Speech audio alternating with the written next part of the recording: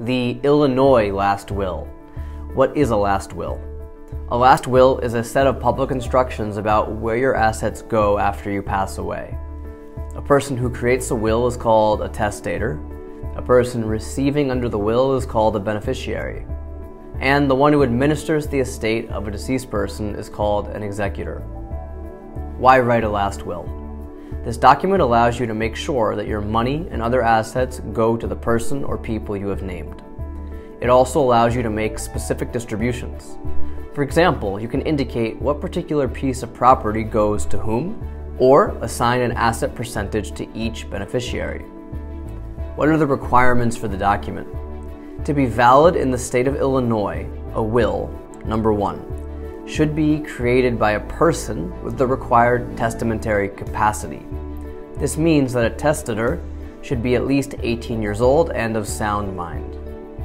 Number two, it should be in writing. In the state of Illinois, holographic wills as well as oral wills are not recognized as valid.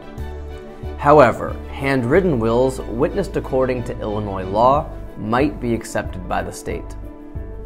Number three, it should be signed by the testator in the presence of at least two witnesses. The witnesses should be disinterested and credible, over 18 years old, and must also sign the will themselves. Number four, it doesn't have to be certified by a notary public. How can a will be revoked? A will can be partly or entirely revoked in three cases. By a subsequent will, your new will revokes the previous one. By destroying the will, for example, by tearing or burning it. By operation of law, a divorce will revoke every provision regarding the former spouse unless the will provides otherwise. How to write the will? A will can be written in three ways by yourself, by handwriting or using a fillable template, by turning to a legal professional, which might be quite expensive, or through our step by step builder that will allow you to create a highly customized last will.